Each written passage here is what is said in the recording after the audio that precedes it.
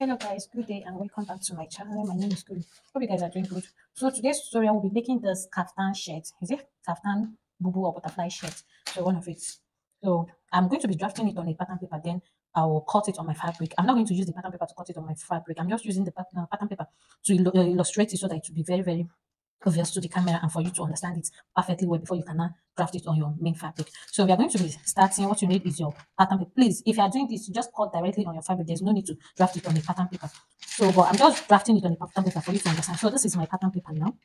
What I'll do is to is that I'll fold it into two this way by length. This is the length from here to here is the length. So I'm folding it into two by length. That's how you should fold yours on your fabric. Fold it by the length. Don't fold it by width. This is the width. The width is like this. Then length is like this. So fold it by length so that it will give you the actual length that you want and the wideness that you want. So once you have it, once you have it folded this way, I'm going to divide this. Why I'm dividing it is because I want to add a button stand allowance. It has a button. You can actually not add it then at the end of the making the fabric, cutting it, you can add a buttonhole stand.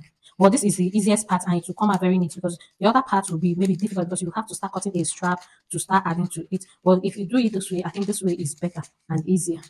So I'm going to slit it open. Why I, I slitted it open is for me to divide the front and the back because the because it, it the is actually the front that has the button stand.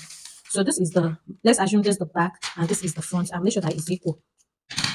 So I'm going to fold it. I'll place this and just use as the this as the front part. So I'll place it this way. Then I'll mark out my buttonhole stand. Assume it's, it's on your fabric. You are marking two inches or 1.5 inches button stand. So let's assume that this is my fabric. I'm marking 1.5 inches or two inches.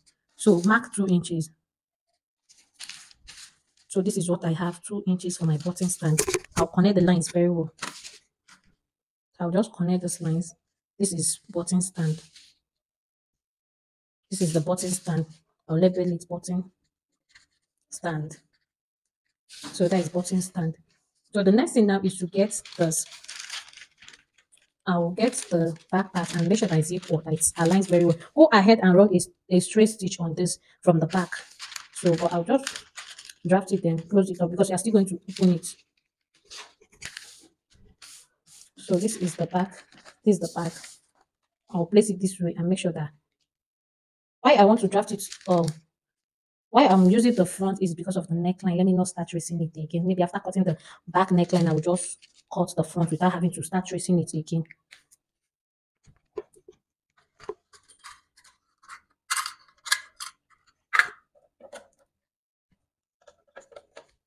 So I'll just get my pin and pin it so that it will be in place. I'll also pin this other side. So look at the one inch will come out here. So the next thing now is to trim off this one inch because we need it to be equal.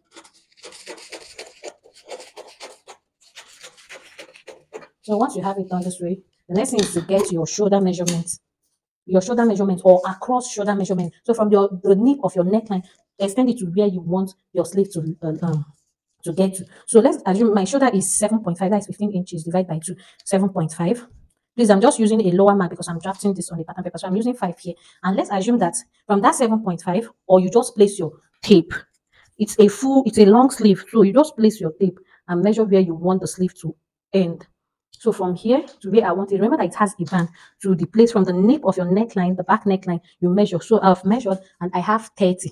So I'm minus 3 inches for band. It has a band, a cuff band. So it's 30 that I have.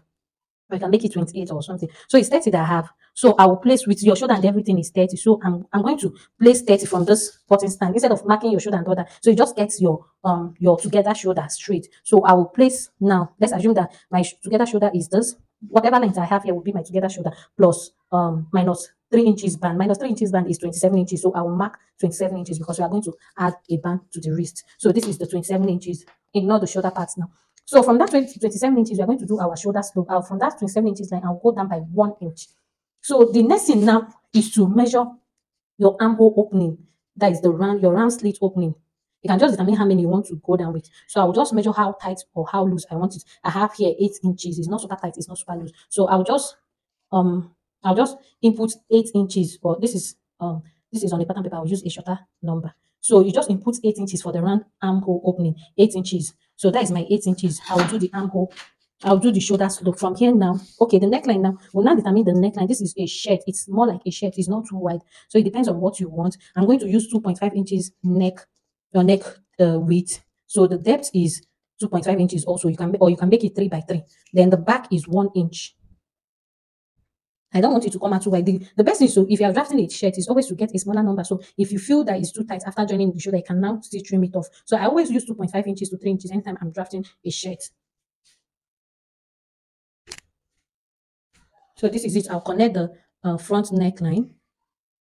You know, you will extend it to this uh, ample stand. So I'll also connect the back neckline, which is also going this way.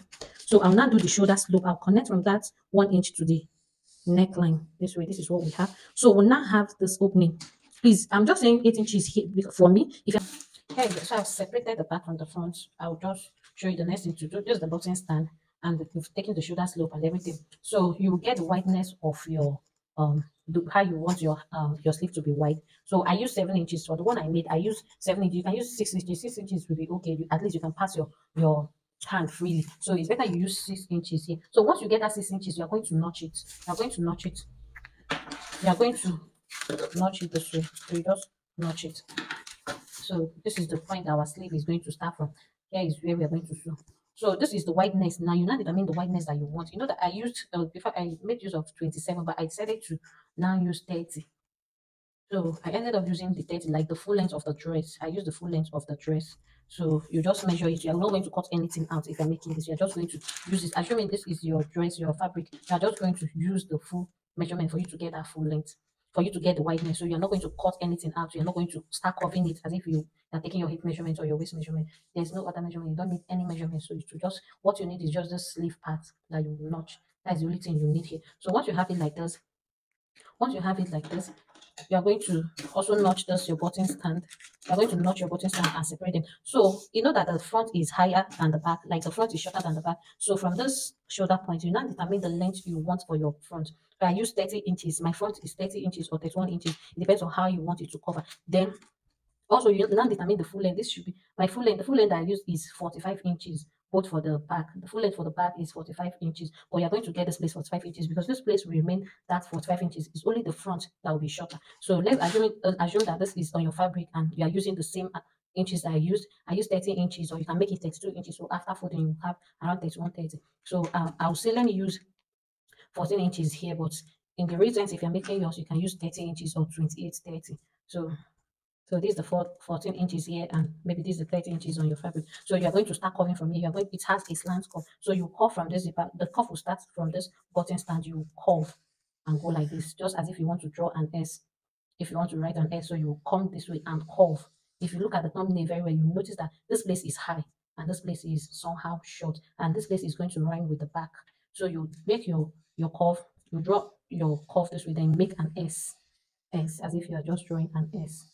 That is what you need for the front. Please know that you're not cutting the back this way. The back is just straight. It doesn't have any curve. So once you have the front this way, you're going to cut it out. You're going to follow the line and cut it out. So this place is still going to align with the back. So you're going to open, slit open your button stand here. It's just normal way you make your shirt. This button stand is normal way you make your shirt. So this is it. You notch it. So this is what you will have. This is how the front is going to look. This is how the front is going to look. So the front is going to look this way. Change it. This is how it's going to look. So for you to start joining it, uh, the first thing you will do, for you to start joining the first thing you will do is to is to fold in the button allowance.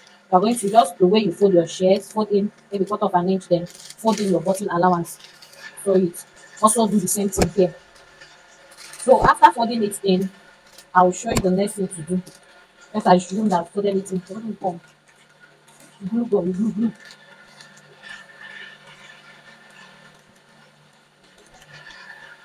so I've made this already. I don't want to start. I'll just show you. I'll just demonstrate everything. If you're following this method, it will come out very well. I didn't really record it um, when I was making it because I made it overnight, so I didn't really record it. But I'm just going to show you the steps. So assuming, let's assume that you folded it just so it's straight. I'm just going to gum it.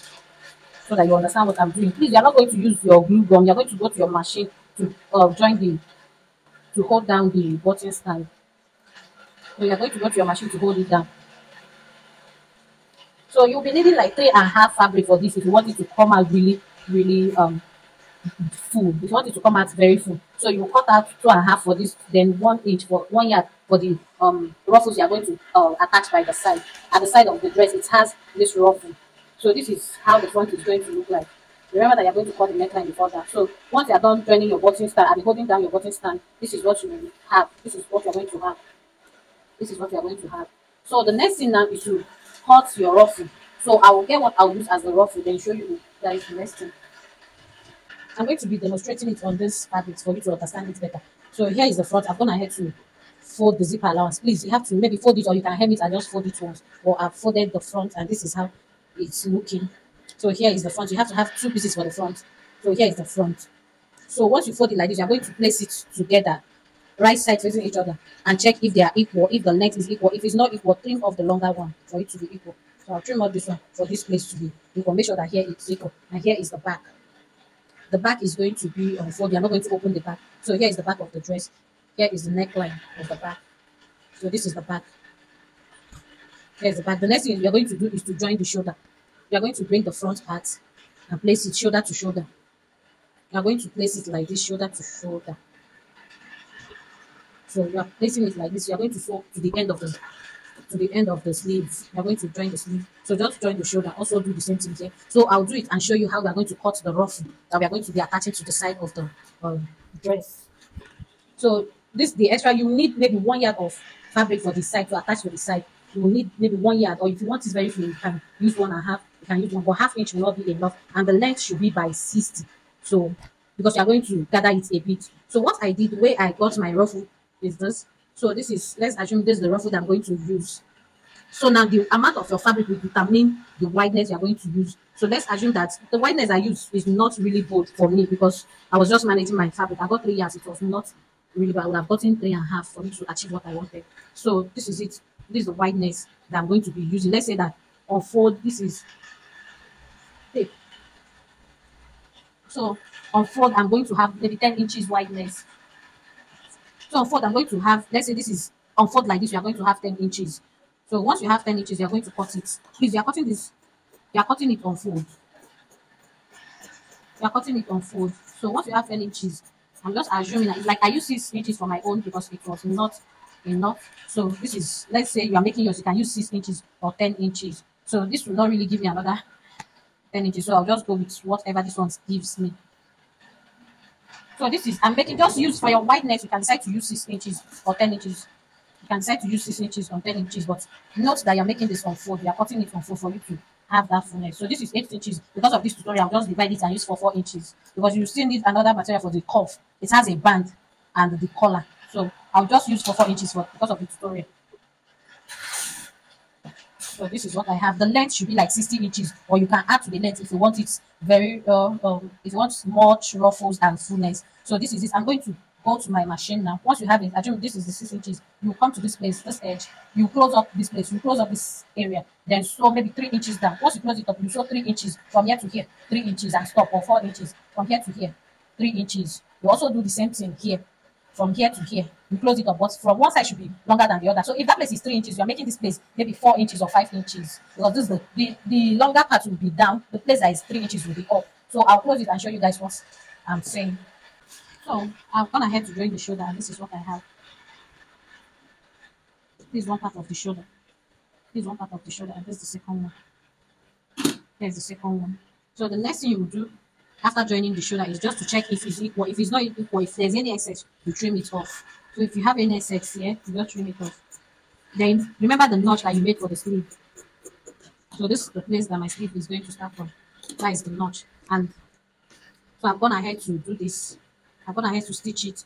This I stitch it from here, close this here to here, three inches. Here to here, five inches. So once you are done, you are going to pull it out. You are going to pull it out this way.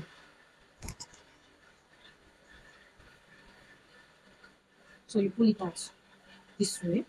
So you get the part that is three. Uh, so you after pulling it out, you join it this way. Then you start from here. use your loose stitch gather stitch and just stitch it uh, just sew it straight down straight up to this point don't make it to get to this place so i'll just stitch it and show you the next thing to do so i gather stitch to gather it so i'm going to draw it i'm going to gather it so i'll gather it like this i'm not going to gather it too much and if you are gathering it make sure that it's up to the length that you want it will even be uh, longer.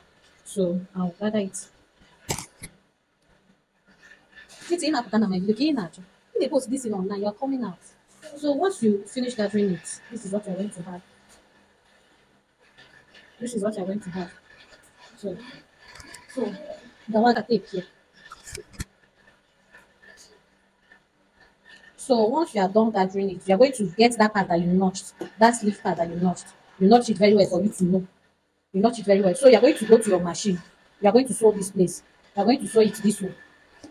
You're just going to sew in half inch. That you come in maybe half inch. That half inch after coming in half inch you're going to curve it like this. Use your tape. Use your chalk and do it before sewing it. Just come in half inch then curve it like this with your chalk. Just come down by one inch. Stitch then stop at one inch. So you're going to stitch from here and stop at one inch.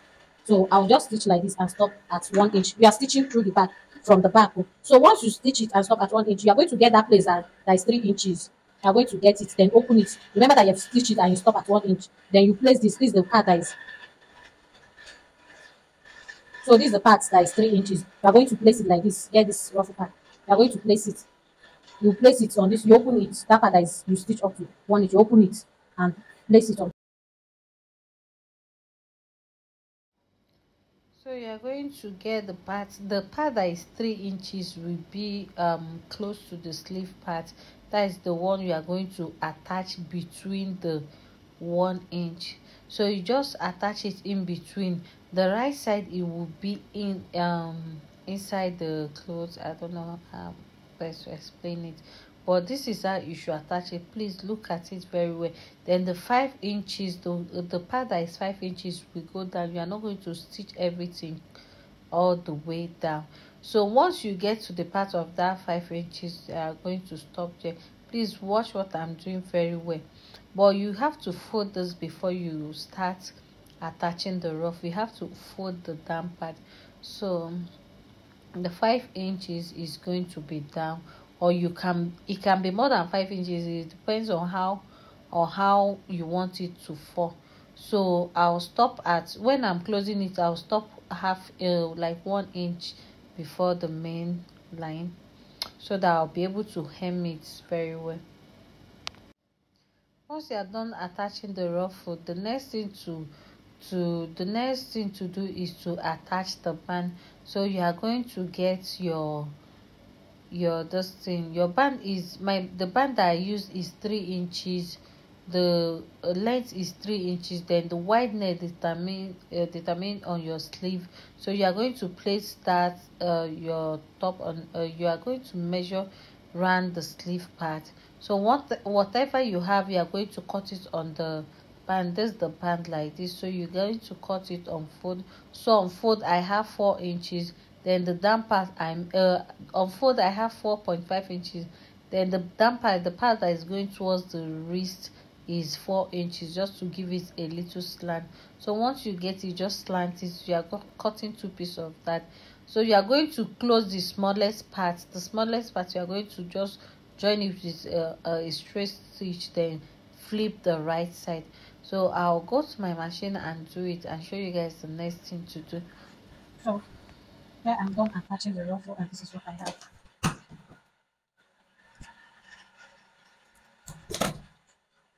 This is the front part of the dress. This is the ruffle part. This is the ruffle part. And this is the other ruffle part. So the next thing now is to attach your band. The next thing to do is to attach your band here is my band. Please iron a light interface on this. That is the lightest one, just to give it weight. Because especially if you are using a light fabric, it's best to you use the light fabric so that it will flow very well. So once we have it like this, once we've done stitching this place, we're going to have it like this. So the next thing now is to place it on each other. Then cover this place, stitch it with half inch. When you are done stitching it with half inch, then turn it to the right side. You are going to have something like this. So for you to start attaching it, once you close it, you bring this side that has a side seam. After closing it, you bring the side that has a side seam then place it on this part that has a side seam also then stitch it around So this is it. This is how it's going to look. This is how it's going to look. So this is the part that has the side seam. Then place it this side seam to this side seam, facing each other. Then you start sewing round. So once you sew it round, this is what you will have. I think this is looking very beautiful already. I'll just look for the baby girl and give it to her. So this is it I can't wait it on the manicure because yeah. But once you follow this step, once you've been following me and this step, you achieve it. You achieve the full result. So this is how it's going to look. This is how it's going to look. I'm here to hem the down part, but this is it. This is how it's going to look. So please, if if you find this tutorial interesting, please make sure to like and share. So this is the final look out. So this is it. This is it. I'll attach the second band. Hem it, then attach the the collar. It's just a bishop collar. If you've been following, I have a tutorial on how to make the collar. You just make only the collar stand without attaching the collar for. So that is just the collar. I'm not going to make it just a bishop collar or just cut out, draft out a, um, a collar stand. It's only the collar stand without the collar for. Please check my video on how to cut a collar. You will see how I make only the stand and not the four. So this is the final. This is the back. So this is looking very beautiful. I love the color and everything. So thank you guys for watching.